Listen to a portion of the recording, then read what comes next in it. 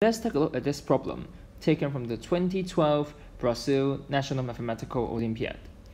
It says, find all surjective functions f mapping the set of positive reals to itself such that 2x times f of f of x equals f of x times x plus f of f of x.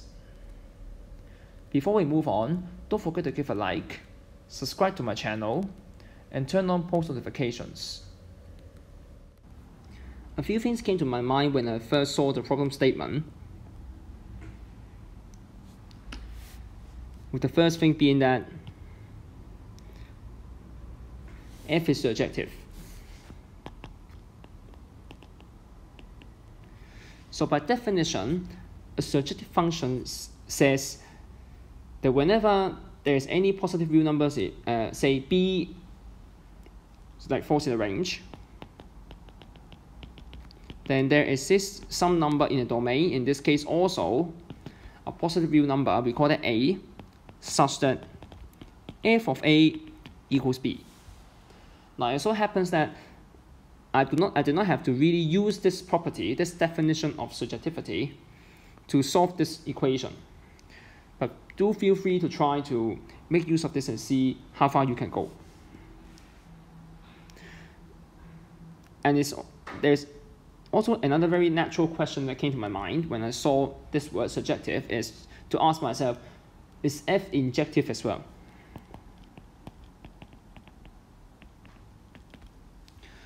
Now, actually, the answer is yes, and I'm going to show that later. And the fact that F is injective is useful. The second thing is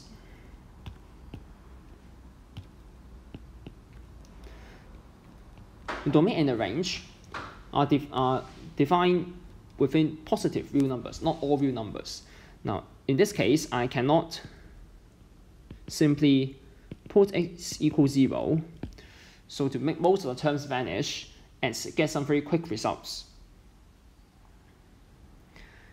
And finally, the third, third thing, which is the most important property that I noticed, is that because the images of the function and also the domain are positive, they are not zero. So now I can do some algebraic manipulations, like moving, dividing things to the other side, to rewrite the equation into this form.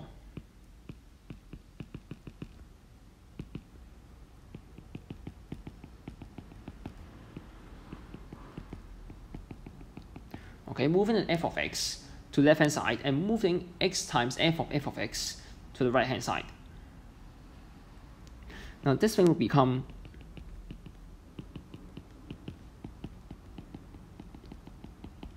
one over x plus one over f of f of x split into partial fractions.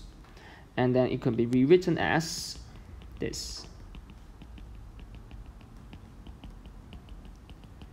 And this very, very much look like, um, looks like arithmetic progression. If we define the sequence as 1 over x, 1 over f of x, 1 over f of f of x, and so on, by keep mapping the previous terms into the function to generate an, the next term of the sequence.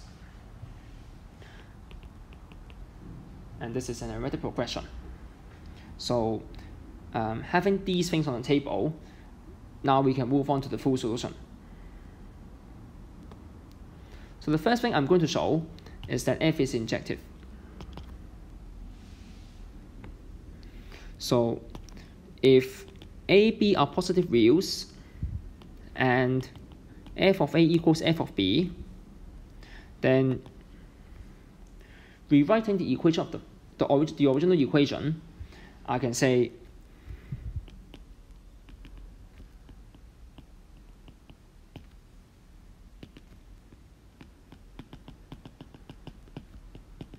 x times this expression equals f of x, f of f of x. Now notice that when we put a or we whether a or b into this equation, these things will remain unchanged. So as long as this term, or I should say, this expression, the one underlined in red, is non-zero, I can simply move this to the right-hand side and quickly say that a and b are equal. Now, however, if that part is 0, say 2 times f of f of a minus f of a is 0, then given that the red part is 0, left hand side right hand side will both be 0. So f of a times f of f of a is also 0. But this is absurd because the images of the under the function are all non-zero. They are all positive. So the product cannot be 0. So we can quickly, quickly say that it's a contradiction. So, so therefore, a equals f of a, f of f of a, over 2 times f of f of a minus f of a equals this. I can simply replace all the f of a's by f of b's.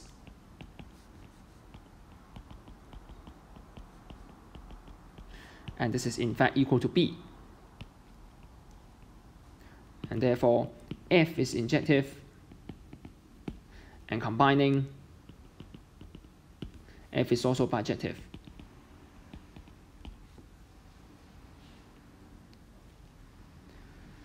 So having f being bijective allows me to define the sequence in a more general way. Is that from the equation, let's get back to um, the form before we establish the AP first. From the equation, I can rewrite 2 over f of x equals this.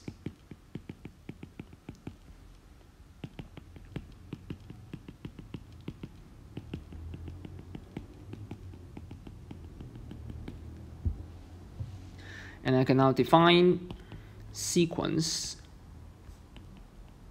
where n is not just a natural number but also an integer by a naught equals 1 over x and an is equal to 1 over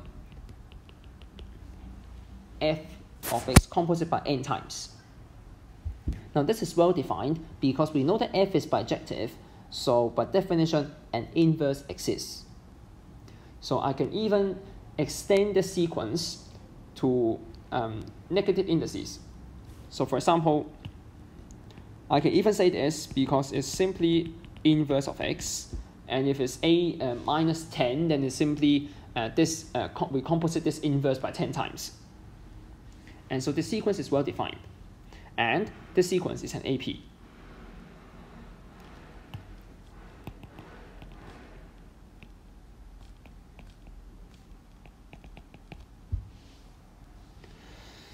Now the reason that um, defining this sequence is important, showing that f is bijective is important, is because regardless of the common difference of the AP, whether it's positive or negative, we know that the sequence is bounded within the positive range.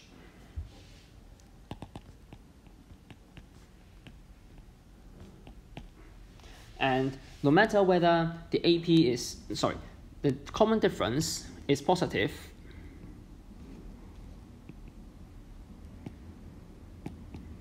and the sequence will go up, or is negative and it will go down, we actually have um, it's actually a bounded sequence.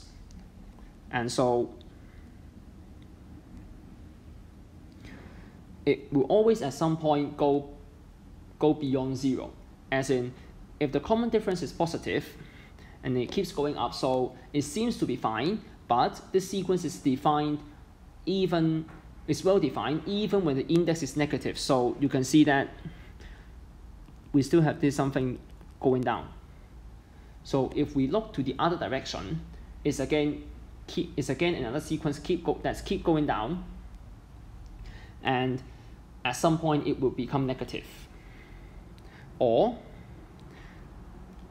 if it's a decreasing sequence, then we can just say that as, as, as the term goes by, at some point it will go under zero, become negative. So the only option for this sequence, for this arithmetic progression, to be well defined to exist is that the common difference is equal to zero, which means it's constant. So let's write this in, in our own words. If common, let, okay, we should say, let D be the common difference. So to make our writing more simple, let D be the common difference. If D is negative, then I do not need this because just say note that it's very normal for us to um, keep um, uh, fine-tuning our wordings while we're writing our proofs.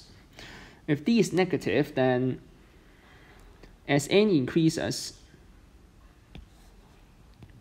an would be negative for sufficiently large n.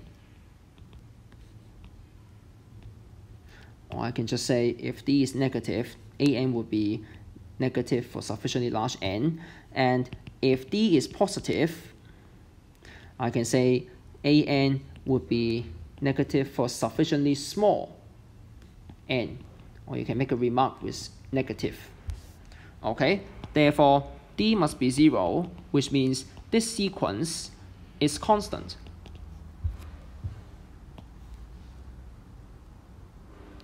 So the sequence constant means that 1 over x minus 1 over f of x is 0, which means f of x equals x for all positive real numbers x.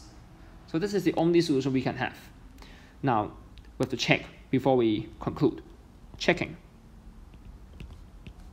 2x f of f of x is simply 2x squared and f of x times x plus f of f of x again should be x times x plus x is 2x squared and they are equal. So yay we are done.